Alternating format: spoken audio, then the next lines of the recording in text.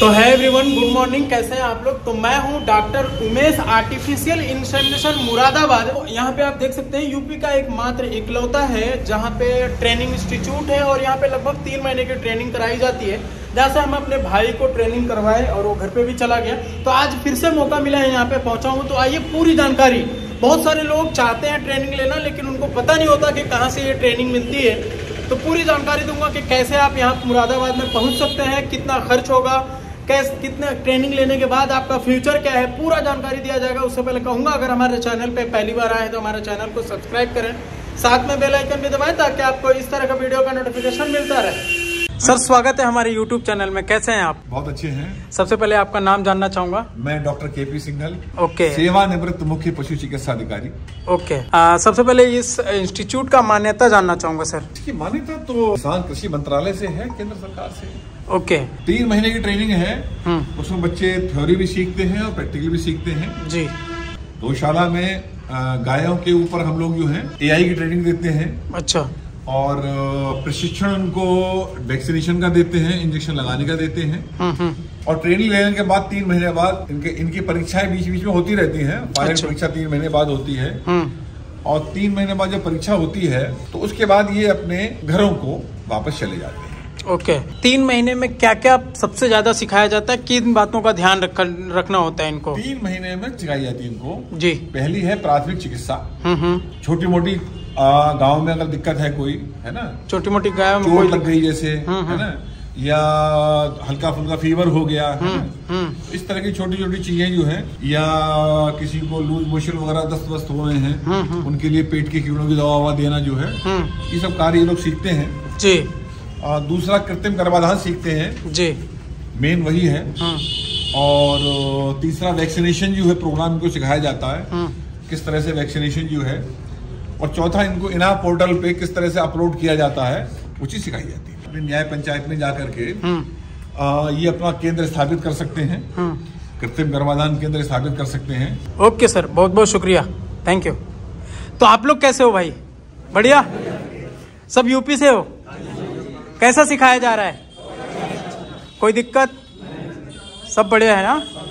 तो यहाँ पे आप देख सकते हैं सभी को ट्रेनिंग दी जा रही है और क्या क्या सिखाया जा रहा है मैं पूरी जानकारी दूँगा इस वीडियो में।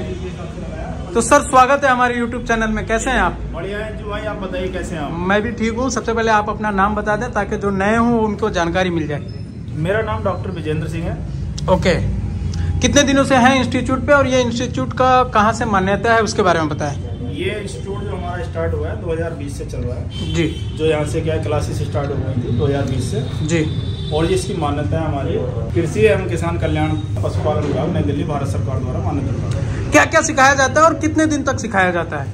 इसमें हमारा जो थ्री मंथ का रहता है हाँ। तीन महीने का रहता है इसमें क्या थ्री मंथ में क्या होता है नाइन्टी डेज़ का कोर्स हो गया। उसमें फोर्टी फाइव डेज़ इनको थ्योरी रहती है और फोर्टी फाइव डेज़ इनका प्रैक्टिकल रहता है ओके थ्योरी में क्या क्या पढ़ाया जाता है जो इनका थ्योरी में है हम्म। तो जैसा ये एनिमल ब्रीडिंग हमारी एक बुक है ऐसी ऐसी इनकी क्या है हमने सिलेबस डिवाइड किया है इनका छह बुकों में कर दिया ओके तो एक हमारा एनिमल ब्रीडिंग है हम्म। फिर हमारा जो एनिमल न्यूट्रिशन है हम्म एनिमल न्यूट्रिशन के बाद हमारा क्या आता है इनका गायनेकोलॉजी गायनेकोलॉजी के बाद आता है हमारा इनका artificial insemination Okay. Preventive medicine और क्लिनिकल मेडिसिन Okay. इनका पूरा थियोरिटिकल पार्ट कंप्लीट हो जाता है फोर्टी फाइव डेज़ ओके कौन सा बच्चा आ सकता है? उसके लिए कितना पढ़ाई ज़रूरी है?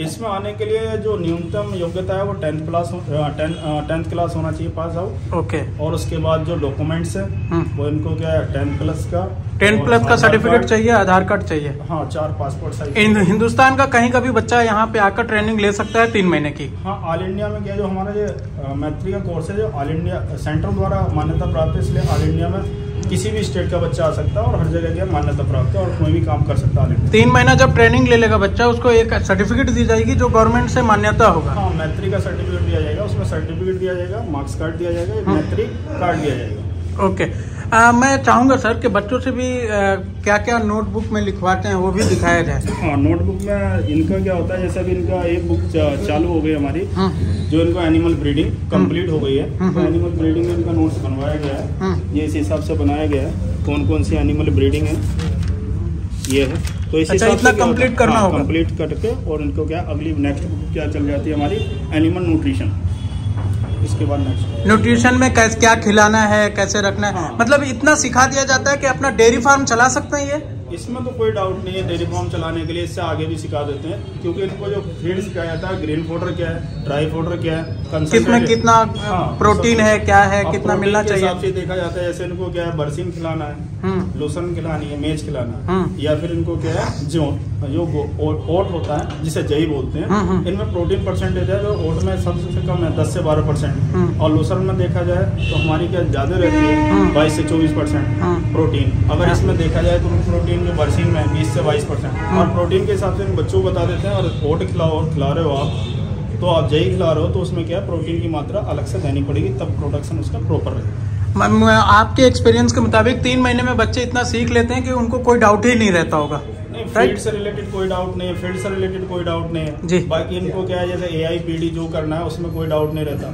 और बाकी जो ट्रीटमेंट के लिए जनरल जो मेडिसिन है जो भी है वो इनको प्रॉपर बता बता दिया जाता है। और जो फ़ील्ड में जो डिज़ीज़ है हम्म।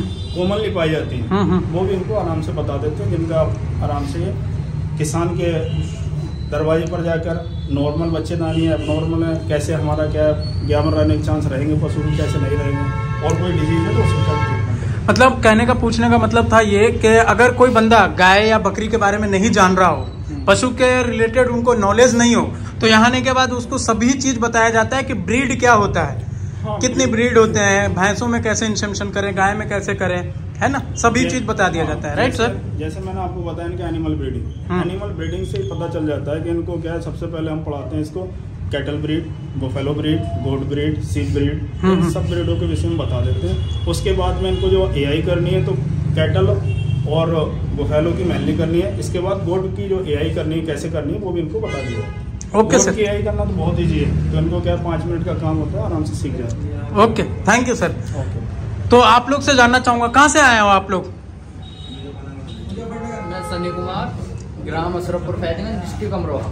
अमरोहा यूपी सभी यूपी के ही हैं? कहाँ कहाँ महाराष्ट्र से। आए। कैसे आए यहाँ पे? यूट्यूब के द्वारा है। यूट्यूब के द्वारा है? कैसा सिखाया जा रहा है? कितने दिन हो गए आपको? चार दिन हो गए सर। कैसा लग रहा है आने के बाद? किसी तरह का कोई प्रॉब्लम ठंडी ज़्यादा है कोई दिक्कत? ठंडी ज़्यादा है। ठंडी महाराष्ट्र से तो ज़्यादा होगा। वहाँ तो इतना टेम्परेचर होता ही नहीं है। बीस डिग्री तक रहता है लगभग। आप लोग भैया? बरेली यूपी। आप? यूपी। आप भी महाराष्ट्र? दो जन महाराष्ट्र। और आप लोग यूपी के बाहर वाले? तमिलनाडु। यूट्यूब देखकर। हिंदी आ रहा है भैया? थोड़ा थोड़ा। हाँ दोनों आप दोनों तमिलनाडु। बहुत बढ़िया। कोई दिक्कत? प्रॉब्लम यहाँ पे? क्लाइमेट प्रॉब्लम लैंग्वेज प्रॉब्लम हो रहा है। सर इनको थोड़ा बढ़िया से समझाइए। और आप लोग भैया? वेस्ट बंगाल वेस्ट बंगाल में कहाँ से? कुछ भी दोनों आप लोग वेस्ट बंगाल से हो? तीन लोग हो आप लोग। कोई दिक्कत हो रहा है? उधर तो ठंडी इतना होती होगी। इससे थोड़ा कम है। यूपी में थोड़ा ज़्यादा रहता है। और किसी तरह का कोई प्रॉब्लम तो नहीं है आप लोगों को? कोई दिक्कत हो तो बताएँ सर से मैं बोलूँगा। हाँ? कोई दिक्कत नहीं? ओके बहुत बढ़िया। थैंक यू तो दोस्तों, लगभग सारी जानकारी इस वीडियो के माध्यम से दी दी गई है। कैसा लगा वीडियो, कमेंट करके ज़रूर बताएँ। वीडियो बढ़िया लगा हो तो लाइक, शेयर ज़रूर कर दें। Thanks for watching